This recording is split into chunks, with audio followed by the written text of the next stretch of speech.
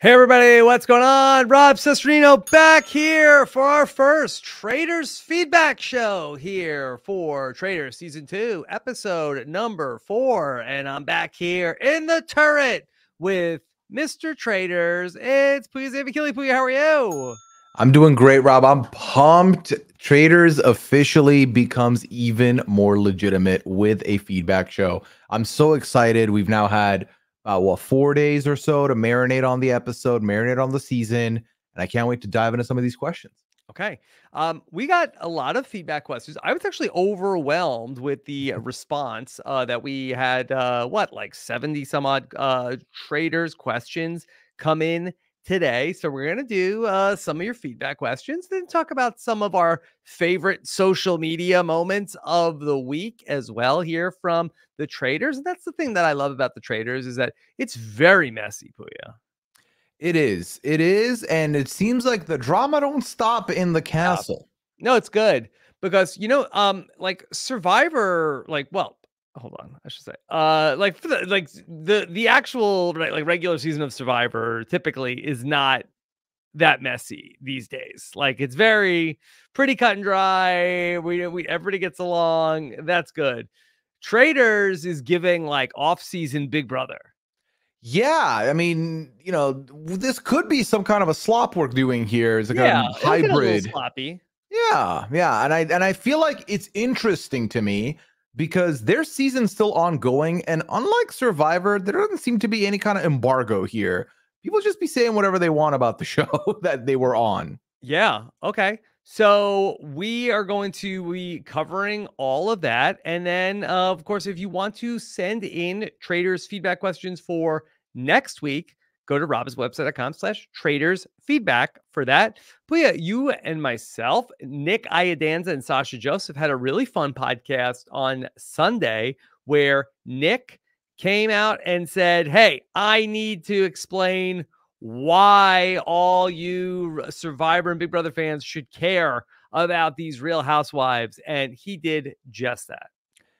Yeah, uh, it was an eye-opening experience learning more about these housewives, and with Sasha there as well, the Bravo celebrity and MJ, and kind of re- learning what do they do, what have they done, what do we need to know, and how does this impact them in the castle. Yeah. Great. Okay. So uh, that was very fun. Check that out in our podcast feed, robhaswebsite.com slash subscribe. All right. Pooya, uh, so a lot of stuff. I went back and watched the episode again. Uh, super fun. Uh. Did you have mm-hmm. any thoughts uh, about episode four that have evolved since we spoke on Thursday night? Not really. I feel like for the most part, I still maintain the same thoughts I did before. I may have a different thought on who might be getting murdered, maybe. Um, but otherwise, I feel like again, I feel like they nailed the cliffhanger because not only do we not know how these three are gonna get along, but also who's gonna get murdered and what does the next round look like. Well, give us your updated thought of the murder. So I feel like I initially left the the the show last week uh thinking about you know they're probably going to shoot someone from the quote others side of things not a bravo person not a gamer person and I thought maybe they go with a pilot Pete to like pin it on Kevin. But the more I thought about it, the more I think we come to a place where I could see it being more of a someone who's not really in the gamers but is a gamer, maybe like a Trishelle I could see getting murdered. I think so. Part of me also could see a Janelle murder, Rob. I'm not ruling that out either. You know, I, I, was like on my rewatch. I think the thing that did stand out to me is just like CT and by proxy Trishelle really like in the middle of things. And I'm just starting to feel like that, okay, you have Bravo there, like uh in their faction, if this was like in WWE mm-hmm. terms. Um, so you have their faction, and I almost feel like that they're looking at okay, well, it's you know, the Parvati and Janelle are sort of like leading the gamers. But I kind of feel like that with Johnny Bananas out, like, do the two remaining challenge people are two people who know how to play games, but aren't necessarily like in the sides. Like, could they sort of like Trishelle and CT? Do they have sort of like Tika 3 upside of like, could we see like uh, Bravo warring with CBS reality TV and then the couple of challenge people being under the radar? I mean, this is, and I think this is a question we got a lot in the feedback form, and I think is a, a lot of people's minds going into episode five. Is after seeing what really felt like alliances and factions being put out in front of us for episode four, is this going to continue? Are we going to continue just having these little groups of pockets of numbers just demolishing each other? I don't think we have date enough data to really pinpoint that. I still think that it was a one timer where they were like, Larsa's talking a lot, she's commanding a lot, and we need to get someone out from that side. Let's get together and do this the one time. I don't think it continues. That being said, I do think that CT and Trishelle have each other firmly. And I do think that if other people start forming suspicions or anything, I could see these two still navigating the waters together, no matter who they're getting closer to. Okay. All right. Well, uh, let's jump into some of our questions because we got a lot. Let's see how many we can get to here tonight. Mara has a question okay. and she wants to know from you this is a gameplay question. Are we seeing an evolution in the game where it's less about finding a traitor and more about alliance versus alliance?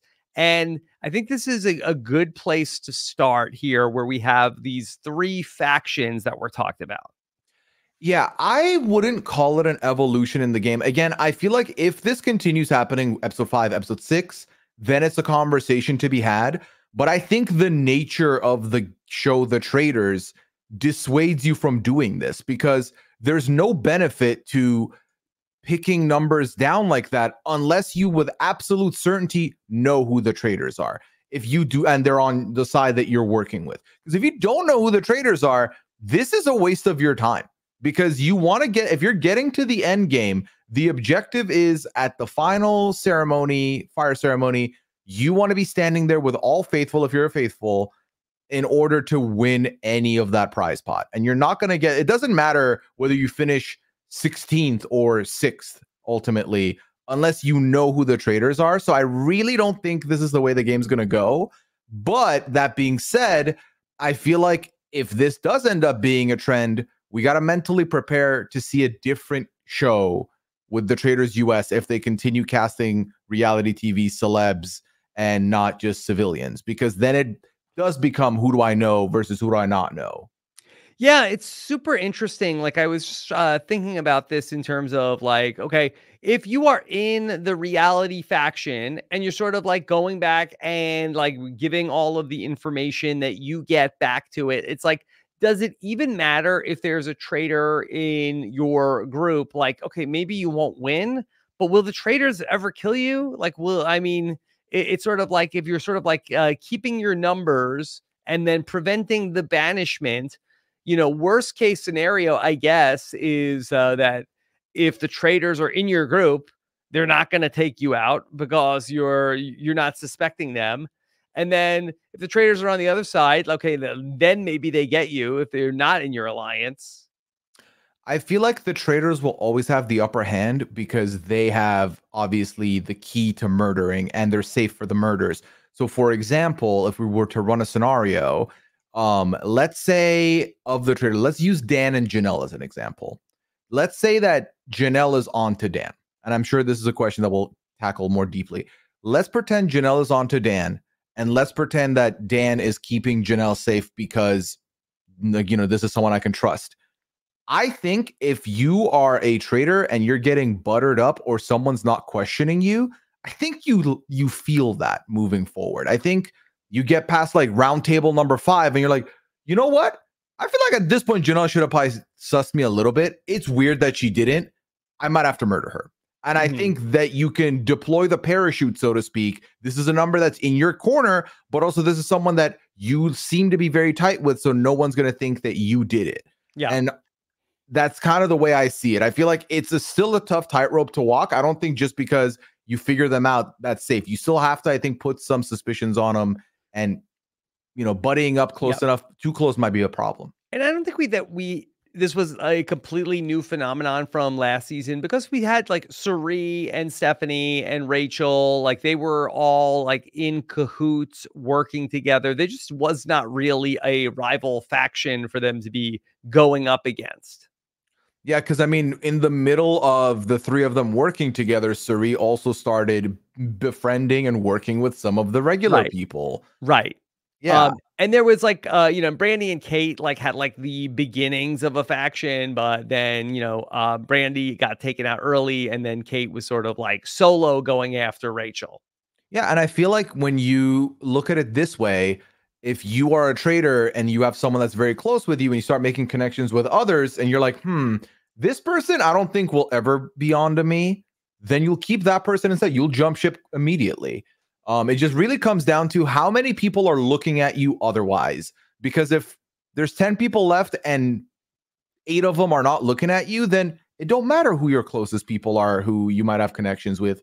It's who can who's who are you gonna fool at the final four?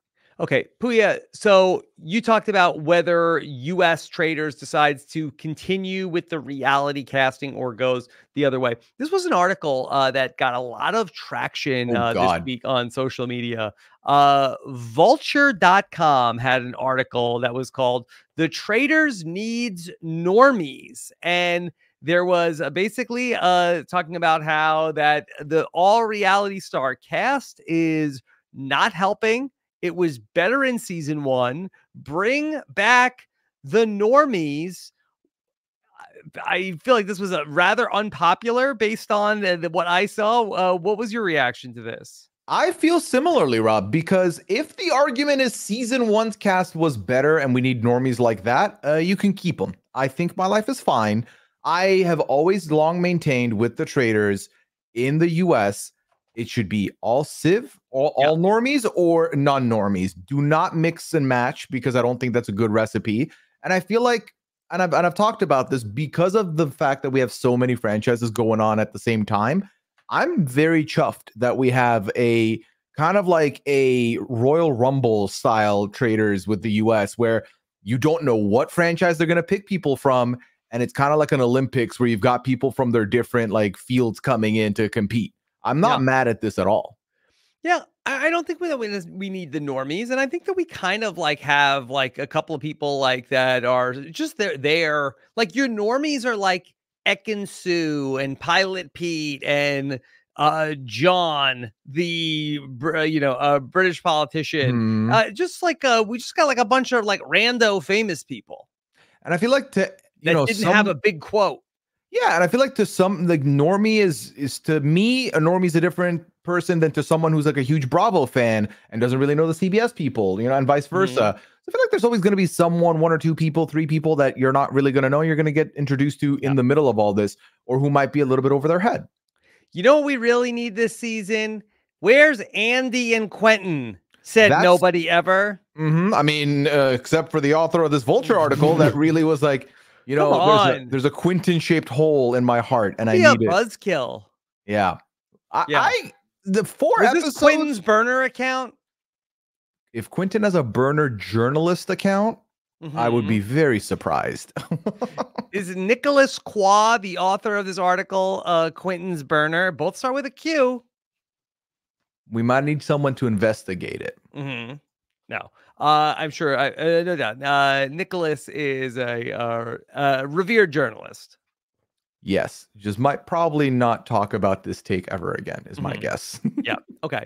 All right. So that being said, um, let's see. Uh, where do we want to go next? Uh, let's talk a little bit about uh the infighting among the traitors. Okay. Trevor Chong wants to know call your shot. Who's going to be the last traitor standing? Uh, who's going to be the first to be banished? Okay. Do you want to go first? And do you want to talk about first banished first? First banished first. I think, and this is tough, but I think it will be Parvati. Okay. Okay. I don't necessarily disagree. I think it could be Parvati. However, I still also maintain that it could be Dan. I'm not Yeah. fully sold that it's not Dan either. I just think know Dan that it's not Phaedra. insulated as of right now because I think that.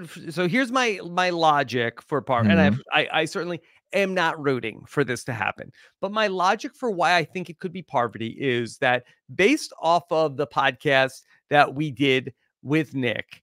I have a different understanding of Phaedra and her uh and how how she works and I feel like that Phaedra would not be above, hey, we need to banish Parvati. I think Parvati is a traitor. Goes back to Bravo with this information, tells them that, and then at the next banishment ceremony, that Bravo is leading the charge against Parvati.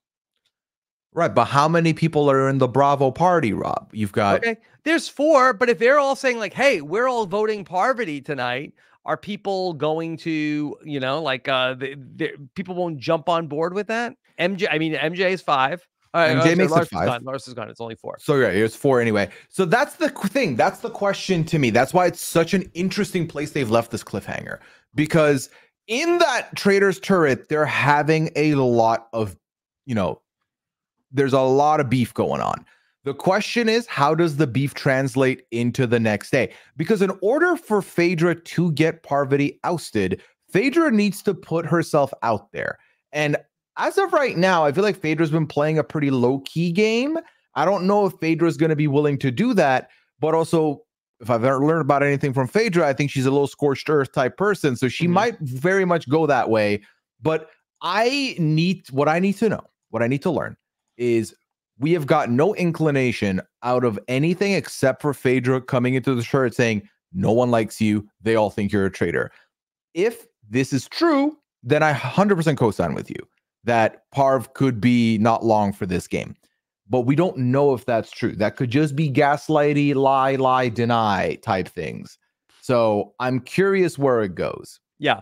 I think the thing that is uh, against that case is that even if Phaedra went back and said, okay, Parvati is the traitor, Hmm. now these like swing votes that they would need are sort of like the Kevins and Peters and Bergies. And we saw, was it like Tamara talking to Kevin and saying, like, I don't, you know, I don't like you. Um, it like I, I don't feel like those guys are going to get swayed by Bravo. Right. I, I, and that's the thing is I'm very curious because you think about Kevin having the beef with Tamara, Tamara not really messing with uh, with Kevin, MJ having the beef with him. I don't think they can get him. I think Sandra has Bergie in her pocket, and I think Sandra, right as of right now, is at the very least working with Parv from what I'm seeing. So I think it'll be more tough, but also the question didn't say immediately next episode. So I still think your your judgment is not invalid whatsoever. I think we're both on the same page that Phaedra's not going to be the first one gone of the of the three. Yeah, Phaedra, I think, is the second most likely because then I feel like, okay, well, if Dan and Parvati are now going to like, and we don't know how Parvati is going to take this confrontation with Phaedra. If a Parvati comes out of that and says, Dan, I'm done with her, hmm. let's let's effing go. And then they put a plan into motion to get Phaedra banished. They do have the numbers with the gamers that they could take her out. True. But then the again, the question for me is how tight is this alliance stuff? Because I don't I'm not willing to say it is tight tight after just the one episode we've had. And obviously I could be very delusional because I do think there's clearly enough links where they're like, we don't want CT gone. All right, we're not doing that. Let's just get rid of Larsa. And they all jumped on it and got it done. Now the question is if Dan walks in and says Phaedra, are they gonna do it? If Parv walks in and says Phaedra, are they gonna do it? Because I think the Larsa sell was a lot easier because Larsa was making a lot of waves. I don't necessarily think Phaedra's been making enough waves. Mm-hmm. So Yeah, and Dan, I feel like is solidified his uh, position. I think he's stabilized after kind of uh, a shaky first week. By the end of like episode three, I, I think Dan is pretty good. I'm not seeing where the danger is coming from right now for Dan. I think Dan still has some worry because I still think the they can revisit the conversation about um the whole men situation of like all these men have been going out. but also that he's been quiet. I think obviously he's been a little bit more vocal in episode four, and I definitely commend him for that. But I still think there's a world where that can catch up to him. Additionally, the idea that how is Dan surviving this far? Because you know we talk about these alliances. I think inevitably someone on the gamer is going to say, "Hmm, I don't know if we can let Dan just get to the end." Okay, it's possible. All right. Chad Moon wants to know when's the best time for the traitors to 100% turn on their fellow traitors? Uh, did what was needed for her game. Not if you ask Arie, but I think that you would really risk exposing yourself if you were actively trying to get a fellow traitor banished. Now, last season, Cody kind of made an unforced error that got everybody looking at him. And then Cirie and Christian kind of cut bait on him. It wasn't that they actively turned on him. Um, it was just basically they did not fight for him. Is there a best time to 100% turn? I think it's a fascinating question because we've seen traitors uh, go against each other as early in some of these franchises, maybe like episode two or three. So some people will go a little too soon. Uh, some people will go a little too late. But I feel like the sweet spot is really the for me if you hear another traitor throwing your name out or it gets back to you that they've been talking, plot and get rid of because at that point you can't trust them. Also, once the suit is broken, so if there's three traitors and two of them go against each other and one goes and you're the third one, it's broken, baby. Get rid of the other one if you have to. Like, do what you got to do to get there. Because at the end of the day, when they get closer to the end of the game, when they get closer to like a final five, final four, Ideally, you want two traitors there so you can get rid of one last one at the end so that you can be like, all right, well, we got them all. Let's just say we're safe now, uh, which is where Arie goes out by the on the hands of Cirie, right? So I think you need to have two. But again, if a traitor is causing you harm or problems, get rid. But otherwise, do not do it unless you absolutely have to. I really don't think you want to start being the face of that uh, movement. Okay. D Junior says if Phaedra gets banished, who should Dan and Parvati recruit as her replacement? Should they recruit one of the Bravo people or should they recruit someone to help take out the Bravo side? This is interesting. I don't think the Bravo people hold that much threat um in the event that Phaedra goes. I think if I'm them, I want to continue throwing people, uh, getting people that we can just scapegoat out. Because from what I've seen, or at least the, what the show's telling us, is that Dan and Parv are looking to work with each other for the at least the next bit. I think you you do not recruit someone who has the capital to get rid of people, namely yourself, if they feel motivated. So do not recruit Sandra. I don't care how close you are. Sandra, I think, has been building an army silently, and I think could get you when she wants to. I think Sandra's uh, doing a nice job here. She, because I think the game of traitors as a faithful is built for the mentality of anybody but me. And I think Sandra is the queen of anybody but me, but mm-hmm. also has been silently. She's got this thing with CT. She's got Bergie in her back pocket. And obviously, she has like the rest of the gamers that she's affiliated with. And she was working on the Housewives. Sandra's like very well situated. And if you recruit her, I think that's your your doom. So don't do that. I think maybe get someone in an other spot that you can always just get voted out before you. Someone has suspicions on them. Okay. So uh, who would that be? Right now, um, yeah. oh, you also want a dummy who can't really move, make movements. Get Kevin on, get Bling Empire on on the phone. Get throw him in the turret. He'll be overwhelmed. I think he'll goof. I don't think he has the capital to really oust you, so you'll be fine. But are you worried that he could be somebody who slips up and then uh, gives information away? Um, no, I think he because they can't. They have they're like under the game rules. You can't say you're a traitor or that anybody else is like you can't oust the traitors by saying listen screw the game we're traitors. Um however to me i feel like kevin is good for a couple of reasons for dan. Right now there is one male traitor and as much as i don't think they should ever try and do metagame i think a lot of people will be playing the game looking at metagame. And i think for dan it's perfect to have a male traitor to throw out and I think Kevin right now could be an easy sell to get booted immediately. Okay. Pooya, let's take a question from Andrew. Uh, Andrew Mhm. says, I'm not familiar with the international versions of the traitors, but in any of those iterations, have the faithfuls won for this current US season? Which faithful is playing the best winning game so far? Okay, so I think who's playing the best winning game right now? I'm saying Sandra, and I'm and I'm holding that strong. I Mhm. really feel like she's playing a very strong faithful game. As far as have faithfuls won, yes. Um, I believe we talked about this on the UK pod, and Annabelle had the exact number, but it's something like a two to one ratio faithful to traitor. So for every two traitor wins, you've had a faithful win. Okay. Yeah. So the deck is stacked. I mean, the titular traitors, yeah, they definitely have the upper hand because ultimately the traitors just need one of them to get to the end and they win. You cannot win as a faithful if you're in the final three with a traitor, final four with a traitor. You have to get rid of all of them. So it's a lot harder of a task to do if you get it wrong. Okay. All right. Um Lee has a question about the the faithfuls voting. Um Lee says, I've noticed the faithful will often not vote with the group, uh, but traitors almost always vote the right way, understandably, to blend in. Knowing random votes tend to be done uh, by only faithfuls, should traitors do this too to throw off the pattern? the way this game works, given that you don't have, you know, a clue wall a la claim to fame, you don't have sabotages, there's no extra role that can give you anything, you're going off of anything you can build up on. And I think your worst nightmare as a traitor is you throw a rogue vote to burn, and then someone's like, okay, but we all voted for this person. Why did you not vote for that person? That Mhm. seems weird. And depending on how you answer, and they're if they're looking for confirmation bias, they'll just be like, ah, no, you seem defensive. I'm gonna get rid of you.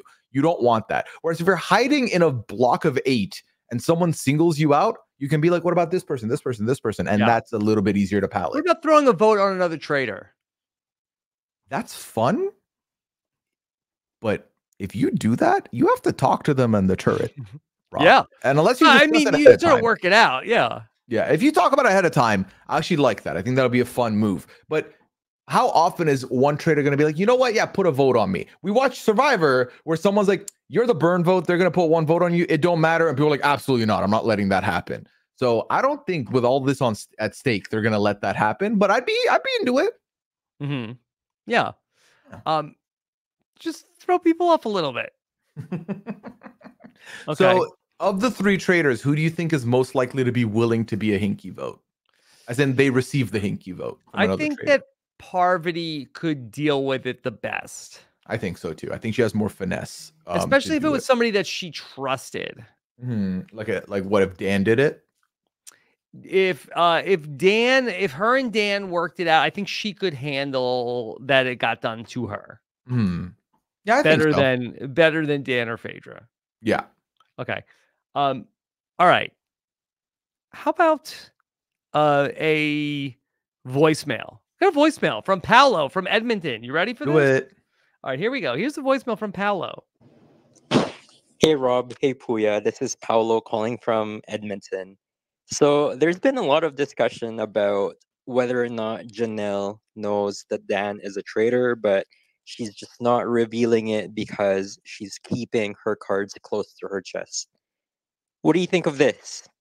Does Sandra secretly know that Parvati is a traitor? Let me know. Thanks. Is this possible? Yes, it's possible. Of course. I mean, the, you're talking about two people who have not only come from the same franchise, but they've actually played these games together. So mm-hmm. they could potentially have a better read on each other than most people. Or you could also metagame logic it that, listen, there's two of us from Big Brother. I'm not a traitor. probably Dan's one of them, and vice versa with Survivor. So you definitely could have an idea that you think it's that person. However, and and I and this is one thing, Rob, that I'm not loving is that like- we said earlier, for some reason, these embargo, there's no embargo on NBC. So they just say whatever they want. And some of these people that were just asked about potentially may have said, Yeah, I knew all along. And I'm not going to subscribe to it because you can say anything you want on the show. I'm waiting, uh, I'm waiting for the episodes and not for Mhm. the podcast. Um, other than our own, of course. Yeah. Uh, that being said, I think it's entirely possible. And of the two pairings, I would probably say that I think Janelle would be more likely to know than Sandra would. Not saying that Sandra wouldn't recognize it or anything, but I already think Sandra's working a different game. Sandra's anybody but me and getting people in the pocket. And ultimately, if the season ends and it's like, well, they both knew all along, and that's why they rode a gamer alliance to the end because they knew the two, then kudos. You broke the game. Yeah. that's pretty cool. How common is it though in your experience with the traitors where there are players that like, oh, I knew all along this person was a traitor, but I didn't say anything, and, and also we don't get it in the show. Do you hear that a lot after the fact? I feel like you know sometimes people are heroes of their own narrative, and they'll definitely throw that out oh, there. Um, for sure. Yeah, but I feel like more often than not, once someone figures out that they know someone, they'll say it more often than not. Again, you got to remember we are on the second season for most of these shows. None of them have had more than two, so the game is still evolving, and a lot of people are still learning on the fly. But I genuinely feel like it's so risky to not vocalize the stuff like that to the confessional room, especially because you could get murdered at any point. So your days are numbered. You're not guaranteed a ride to the end to be like, ha ha, I knew all along. And these are reality TV people. I some people will want that credit. The question is, is the editing not giving it to us? But if they if they know they're talking about it, they're just not being shown. Okay. Pooya, let's talk a little bit um, from social media. Okay. Because that's where cool. a lot of this uh, traitors action is coming. Michael Horn wrote in a question Hey, Robin Pooya, I was wondering what you both think about bananas continuously going after Dan and Phaedra, but mostly Dan's decision to murder him 1st mm-hmm. While he's clearly still bitter about it, does he actually have a valid point in saying that Dan should have kept him around to use as a shield? I do think, regardless, uh, bananas would have likely been an early consensus roundtable vote. I think with the traitors, Rob, more often than not, for that first murder, it's kind of a statement murder because it's the beginning of the game. There's not a lot to go off of. And I think for the reality TV people, I think they wanted to make a big statement. I think for Dan also, he is explained in the Traitors Postmortem, he has a little confessional where he talks yep. about, right? He talks about how he is someone that he thought wouldn't have a lot of chances to get rid of. He's someone that'll probably go for the shield as many times as he can, and this was a golden opportunity opening for him to to get. So I don't think he's incorrect in doing that. Yeah. Um, I also think Bananas is someone who, no matter who says what about him, I think can be pretty charming and can wrangle people pretty well. Yeah. So so I think there's a couple of different things that are going on here with uh, Johnny Bananas versus Dan. Uh, one, the way that Johnny Bananas gets taken out of this game is just so contrary to how life in the MTV challenge works. Uh, to my knowledge, there is almost like no way in the challenge. The whole point of the challenge is you can't just like have like a like quiet, covert assassination of a big target like Johnny Bananas. You want to take out Johnny Bananas, you have to challenge him head on and you have to beat him in competition. That's yes. the that's the the world that he comes from. So to just be unceremoniously dispatched without Johnny Bananas being able to use like any sort of comeback against that, that just does not compute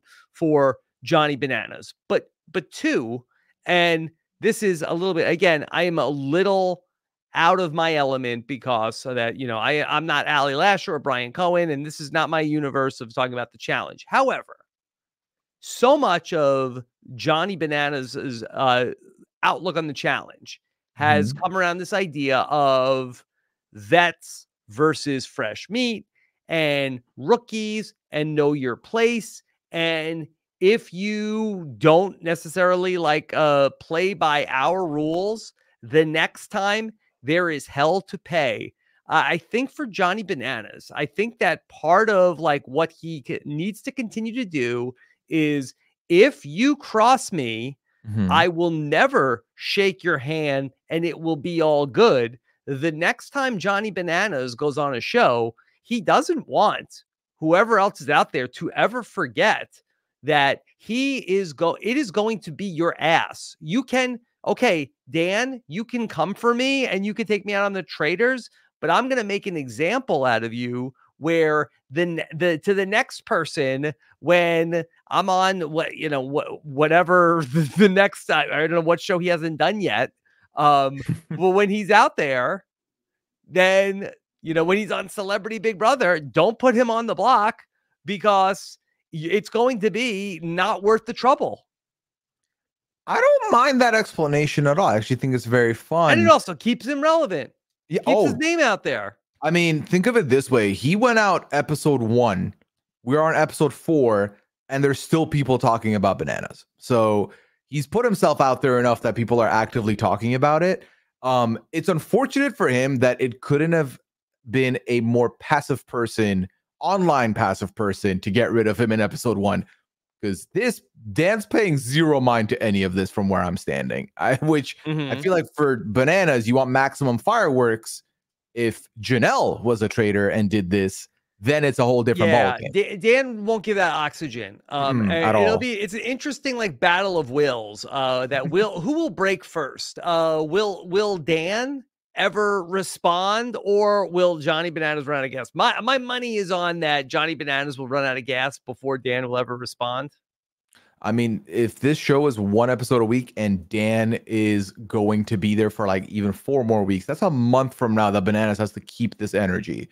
Which, trust me, he seems stubborn enough that he'd do it. But also, I am not a, uh, a you know super Bananas know it all like a Brian Cohen would be. hmm Okay, so uh, let's keep an eye on all that. All right, let's get to some. Uh, all right, that was just the tip of the iceberg here. in terms in terms of uh what's going on. All right. Um let's let's talk a little bit uh that um um do we have anything here? So uh let's see. We got some people sent in some uh, uh okay, we don't need to explore the uh Johnny Bananas uh tweet thread. Um this was a pretty good one, I thought. Um okay, so this was from today. Larsa uh, did an interview, and I believe she told uh, was it Dalton Ross? Um, Entertainment Weekly had this tweet uh, where they posted an article from Dalton Ross that says Larsa Pippen says Janelle was jealous of all her screen time on the traitors. That's why she wanted to uh, go after her. And so, um, look, look, Larsa is bringing the Real Housewives to the traitors. Yeah, I mean, listen, who said just because you're out of the show, you got to stop being part of the drama or the show? Because yeah, she came out and said mm-hmm. this, and then Janelle, I believe, did also respond Yeah. for Okay. it. So this was it, the sorry. tweet. Entertainment Weekly says the Traitors star Larsa Pippen says she was targeted because Janelle was upset that I was getting a lot of camera time and she wanted me off the show because I make good television and she doesn't, which is a little uh, audacious considering that they're not seeing the edited show. Uh, they're not like seeing like what they're, but I guess she felt like, okay, I'm being, I, I am being filmed. So that that's the case. All right. And then Janelle ended up responding with this uh, that said, This can't be real. The only reason I came for Larsa was because she wouldn't shut her trap about who would want Ekin-Su dead and was continuously targeting me. Also, definitely not voting CT. I will say, and this is not a big brother bias here, I don't trust what Larsa is saying based on what I watched. I think more than one person wanted Larsa out, and I do not think it's the I make good television and she doesn't argument. I agree that Larsa did make some good TV. I also have watched Janelle make some good TV, but also some of the stuff Larsa was doing was not fun TV, in my opinion. Mm-hmm. So Yeah. each their own, Larsa. Yeah, but look, I think that this is a good kind of heat, you know? Like I feel like that uh Janelle can go uh toe to toe with the housewives. I mean, uh I think that Janelle likes this as much as the housewives like it. Oh, for sure. I mean, this is the thing. I feel like uh this is NBC, this is Bravo, this is not uh, CBS.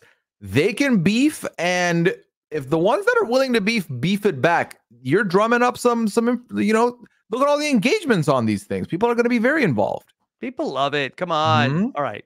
So then uh let's uh talk about uh a little a little bit uh more of this stuff that's going on. Okay. How about uh we got into it? okay, how about oh Ekin-Su and Janelle? Okay.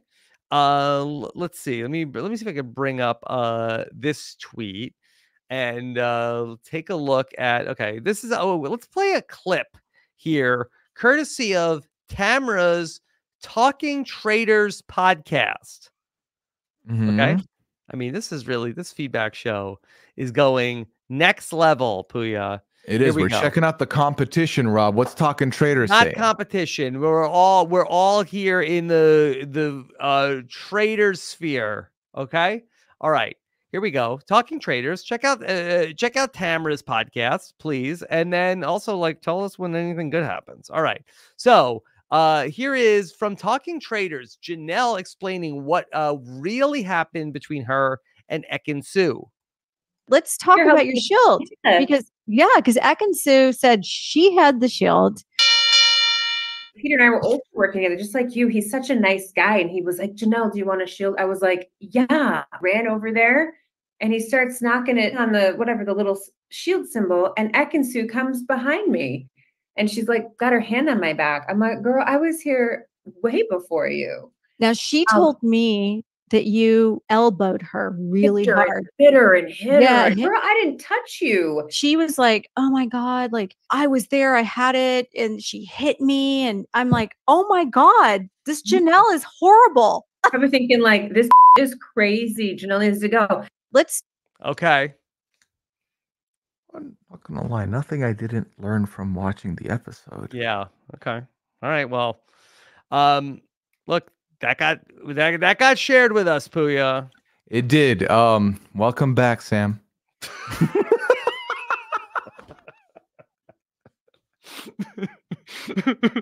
okay. All right. Uh, but maybe maybe this one. Uh, uh, what about uh, uh, what about the Ekin-Su rebuttal? Okay. Uh, Ekin-Su on Johnny Bananas is talking traitors over on the Death Taxes and Bananas podcast. Okay. All right. So uh, well, let's wait on that. And he had Ekin-Su on the podcast, and they were talking about uh, a little bit about Parvati. And a lot of people have been asking, what's going on with Par? Why is Parvati? uh, Why is Parvati? Uh, is she glaring? Is she squinting? Yeah, the the squint heard around the world, Rob. This has become a whole phenomena here on the Trader Street. So much so that uh it's been getting memed from week one and and still going strong here. Okay. Here's Ekin-Su with Johnny Bananas on death, taxes, and bananas. Can I try? Can I try and do the facial? Yes. Yeah, yes. Please. yeah, you got to be squintier though, like this. And then she does this lip twitch thing too. Like, yep, nailed it. But I Nailed said, it. That's the part. I, I said the it to her. I was like, I said to Parvati, I was like, babes, um, are you doing this? I said to, it's not aired, but I did say it to her. I was like, honey, I was like, um, are you acting? You know, I'm an actress, but I feel like you're doing this strange thing on your face and it's annoying me.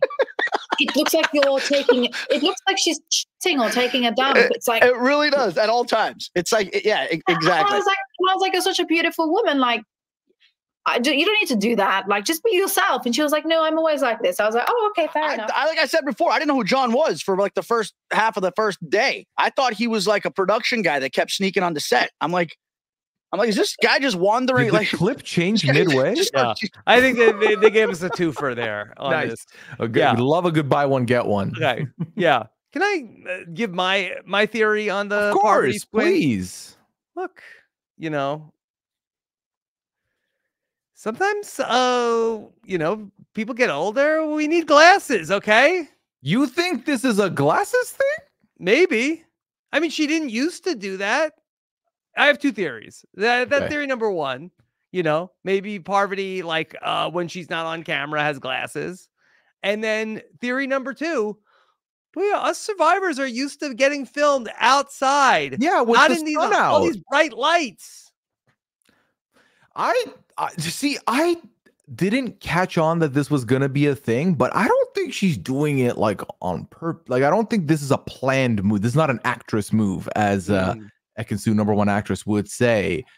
Um, I don't know. I don't mind it. I don't know. Do you? What do you It think? doesn't bother me. Yeah. It's interesting. hmm I think we all have different ways we think of things. You know, some people will do a little squint. Some people will put a hand under the chin. Like we, everyone does it a little different. Yeah. I don't know. I wish Uh, someone would meme me thinking all the time. I feel like that'd be fun. Like you're Do you feel me. like is it uh possibly like is Parvati like trying to force uh, like she's a traitor but she's trying to force like oh I'm in pen- deep pensive thought. it's like when you get called on to continue reading the chapter in class and you were not paying attention. Mm, yeah, Maybe. yeah. Yeah. I feel like if this was a this was something strange, I feel like Sandra would have said something by now. No. Yeah, I think Yeah. so. I mean, she's talking Sandra will talk about what Larsa looks like. Yeah, exactly. Yeah. Exactly. Okay. Um, and then uh this was another one that people uh wanted us to talk about. Okay. So back way back one in episode one, when Phaedra uh, got asked about who do you think uh we should make a traitor, she said she said was pushing for CT. She said CT was uh I really I like him. He would be good. Uh so here's a here's a uh clip. I believe this was from uh Watch What Happens. And Phaedra's talking about uh her fondness for CT. Bravo people is CT. CT from the challenge. You Yeah. two. It was a love thing. Wow, I love it. Yeah, he was he was my castle daddy, but we just connected. He was your castle daddy. Catch that. Yes. Okay. Bravo people is Castle Daddy. Listen. That's an accolade. It's Mhm. an accolade. It's high praise. No one's calling me anything, daddy. So here we are. No, come on. Come on. What? What? Do you think they are? No, I, I'm sure. I'm Okay. sure. It's for me to know and for you to find out, Rob. Uh, Mhm. yeah. I think Phaedra had made it very Literally the nipple king. Uh, oh, that is a lost moniker in a sea Mhm. of monikers, Rob. I think that it was very clear from the beginning that Phaedra had taken a liking to CT, which is why I thought it was ludicrous um, that Larsa wanted CT. I was like, Phaedra's not voting this man out. There's no shot this is happening. And CT is another one on the ballot, Rob, for playing a good, faithful game. Because Yeah, I, I think I think CT could be the winner. I, you know, I was saying Mhm. in the beginning of the show that I felt like that. Ooh, I feel like that CT and Trishelle or could be like this pocket of the people that like know these games, but they don't have like the hot target on them, like the people from Big Brother and Survivor. And I just I do wonder, could they slip through? I could definitely see it. I could definitely see it. And I think the proof is in the pudding, just seeing their connections. Because CT has Phaedra. And Mhm. also, if he's part of this, if there is a Gamers Alliance and he's part of that, the two other traders are there. That's three traders are probably not going to want him out. I don't think Dan's going to want him out anytime soon because that's a target in front of him and he cannot afford to lose him now. And then on the other side of things, you've seen Sandra speak very fondly of him and want to work with Yeah. him. And Sandra has Bergie. Like, CT Sandra and was going to bat for him. Are the best connected faithfuls at the moment from where I'm standing. Yep. Okay. Castle Daddy. Pooya, anything else that you want to make sure we touch on here on our first traitors feedback show? Um, I'm very excited to see where this goes. I did feel like, based on some of the que- the questions I read through, that I understand that some of you may be brand new to the traders. So, if at any point you have any questions about like the format or the fundamentals of how the game works, feel free to message me or at me on Twitter. I will definitely respond because I want to make sure you have the full picture. Uh, one thing is, I did see a couple people ask uh, questions about if there are these alliances, why are they not showing that to us in the edit? Why is this not being spoken about more? And there's one answer for that and one answer only. Traitors is formatted to look and feel like a murder mystery game. And I feel like that would take away from the show. It becomes a survivor or a big brother when it's now alliances and a numbers game. They're never going to format it that way. And they're always going to favor the edit that makes it more who's a faithful, who do we think is a traitor, and so on. So, which is why I'm very curious to see if moving forward we see these mentions of groupings and alliances again, because I still think that it was just for the Larsa vote, but we'll see. Okay. All right. Pooya on we've got Thursday night. We'll Mhm. be back together to talk about this. Uh Monday night on NBC, they're airing the Traitors season 2 premiere episode at 10 p.m. So maybe that gets a little bit of a new blood checking out the Traitors over on Peacock and we will be together for episode number 5 uh, coming to you live after the episode at 10 15 p.m. Eastern on Thursday night. Exact. I'm very excited, Rob. New group, the, TV audience getting in on the traitors. Can't wait to see what the hashtag looks like in a but a day. Let's see how that goes. Now, Pooya, this is not the only traitors that you are covering. Uh, tell us about what's going on over on Traitors UK. I mean, don't tell us the spoilers. Of course, I never would. Uh, it has been a, a wonderful season. I truly cannot keep praising the franchise enough. If you are looking for more traitors content in between this one episode a week wait, definitely check it out. Myself and Edible got together today to talk about week three, episode seven, eight, nine, and uh, we gave our takes. We gave our predictions on what the end game could look like. So tune in and find out exactly what we thought. We had a lot of laughs along the way. And also, while I'm talking about the traitors, Rob, I do want to say if y'all could go ahead and give us some ratings and reviews for the feed. This is still a baby feed. We're not, we're about to hit the one year anniversary of the mm-hmm. feed. So feel free to go and do so over on robhasawebsite.com Yeah. slash traitors.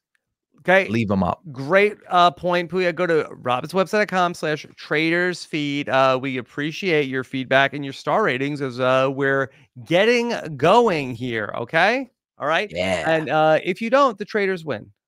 Exactly. And and do you want that? I guess no, actually the traitors will win and you want that because you like the traitors right now. So All right. So uh, be on the lookout for that. And then, of course, uh, make sure you subscribe to uh, join us on Thursday night. Make sure if you're watching us here on YouTube as well, uh, hit that subscribe button as uh, we will be uh, live after the episode and uh, hit that bell to be notified for when we go live then. All right. Pooya, great job here tonight. Where can people keep up with you? they can find me on Twitter at Puyas and you can find me on Twitch, twitch.tv slash Pooya. That's where I'm streaming when I'm not podcasting. I'm at Rob Cesternino. Take care, everybody. Have a good one. Bye.